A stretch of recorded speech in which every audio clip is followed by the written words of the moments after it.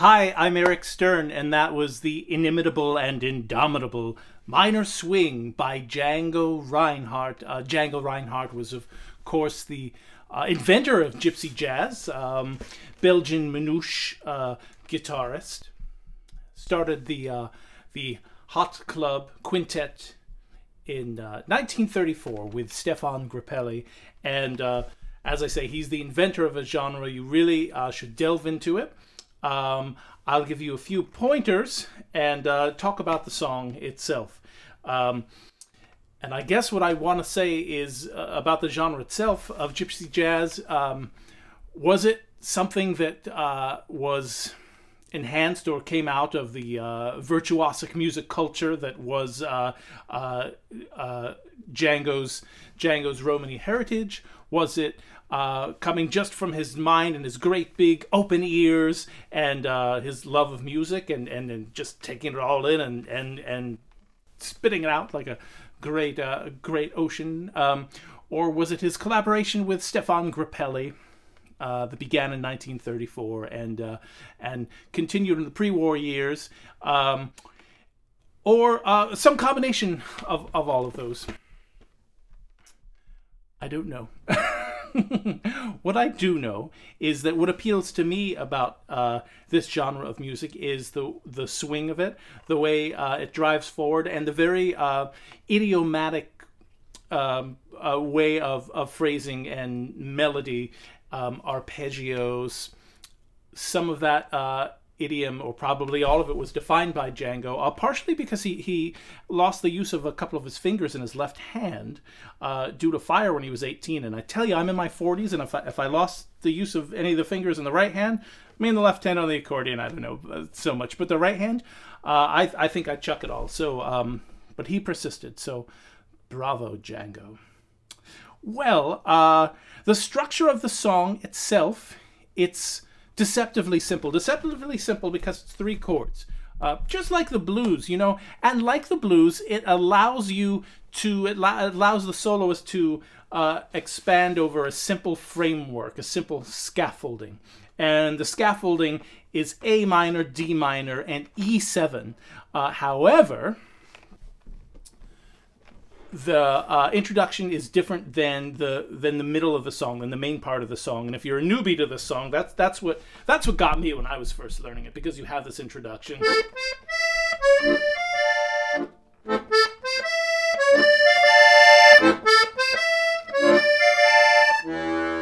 And then it does that again when the song starts. But then once the song is going the, the chords are a little bit different.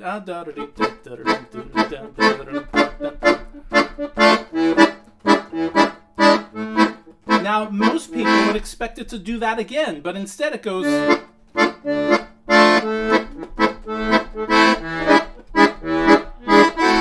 Result is, if you're a newbie to the song, just when you think you have it with the introduction and that first melody that, that mimics the introduction, uh, the solos go and, and it's different chords. So check your chords for sure.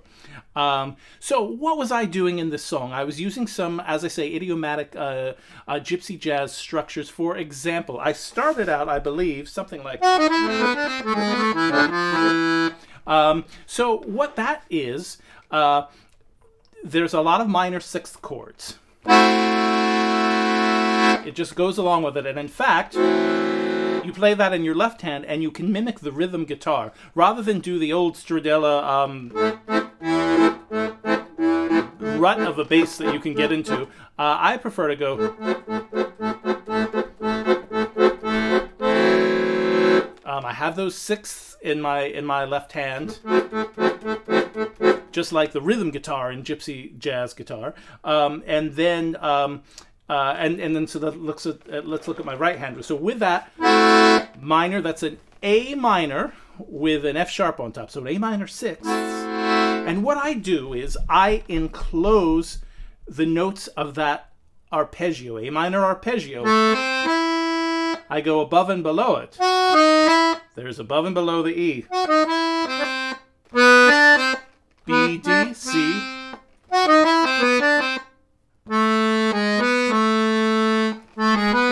So an enclosure is simply when you take a note and you enclose it with other notes. You can start by playing that note and then play below and above it, which is what I did here. Um, you can do uh, here's here's one that uh, in a major key. Um,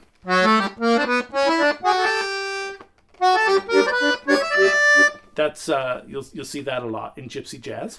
Um, uh, interestingly enough, it's in uh, you see it a lot in bebop as well.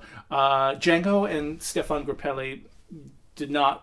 I don't think they really got into bebop or um, or were interested. Uh, correct me if I'm wrong in the comments, of course. So, uh, but in gypsy jazz, you have a lot of these enclosures, and I think I did it on the way up as well with a D minor. So here comes my uh, A minor six.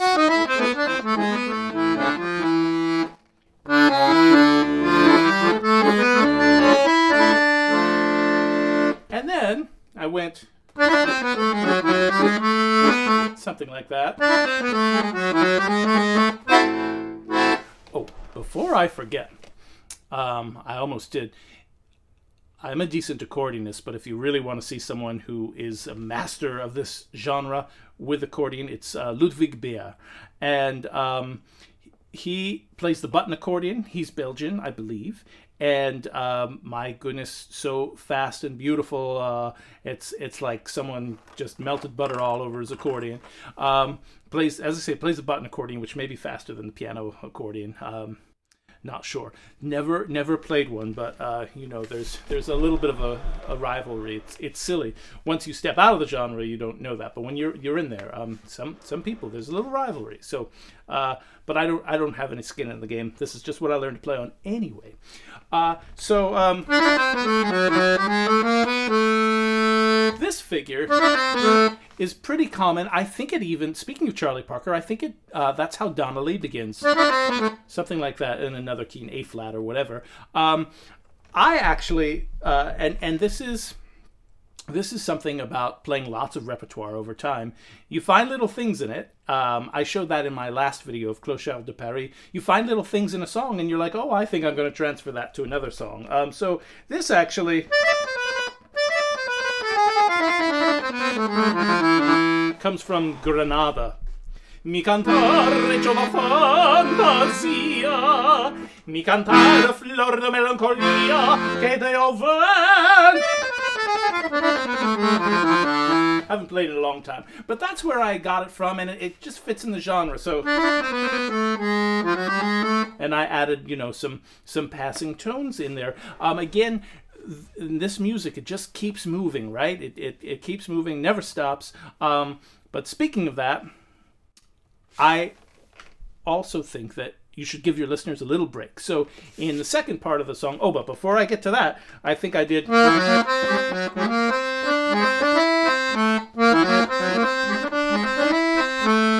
can play it in the song, but then when I'm trying to slow it down to show. Um, but what that is, that is a whole tone scale, um, right? Like. Um,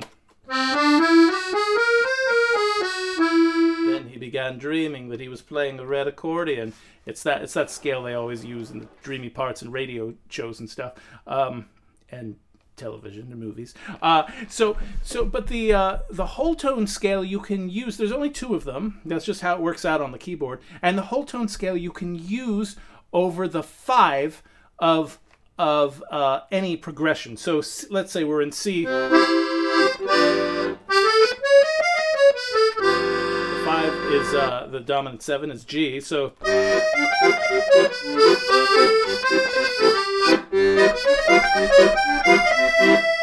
I used it over the uh, E.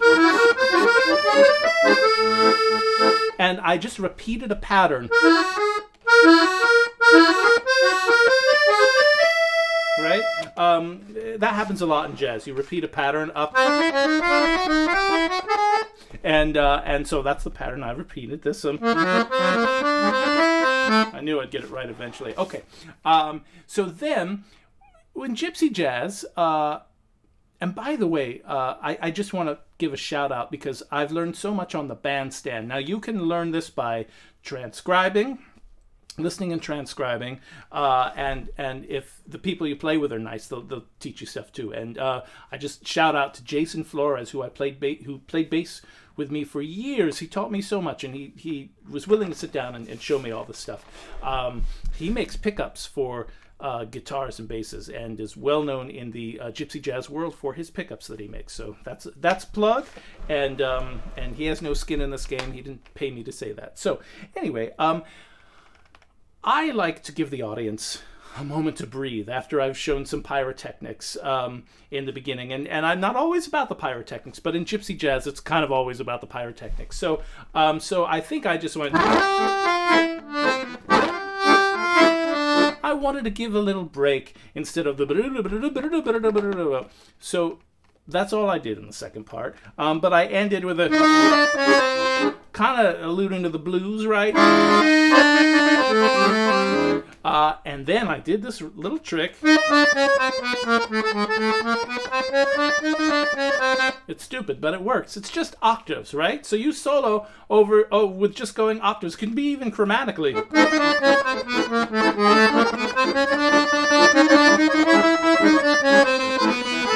Hopefully you'll do it with more precision than I do. Uh, and then, and then I did,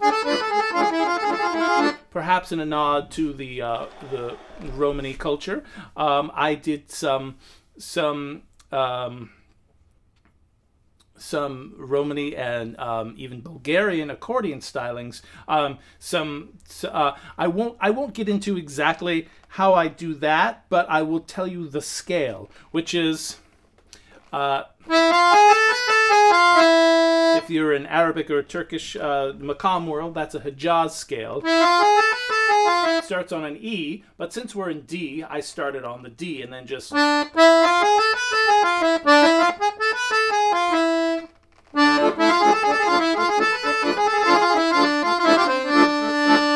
guess what? You can do that with any minor chord. You just play that Hijaz scale. Um, technically, it's Nakriz. Don't worry about it if you don't know what that means. No quarter tones, of course. And then I went and did that back on the A minor. That's going to start on the B. And then I just started on the A because we're in A minor.